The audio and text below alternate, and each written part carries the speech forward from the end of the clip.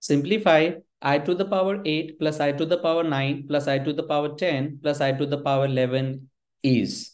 So which of the option will be the right choice here? So i is representing an imaginary term and whose value is square root of negative 1.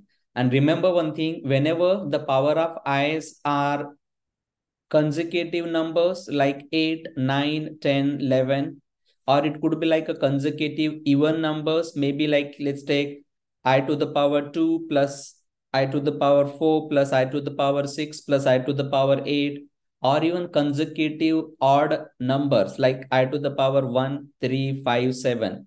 Whenever we are adding four such terms, definitely we'll be getting the result as 0 for it. So some calculator supports to solve, but some doesn't. If they are supporting it like a Casio ClassWiz 991EX, that calculator supports, you can put it as it is and get the answer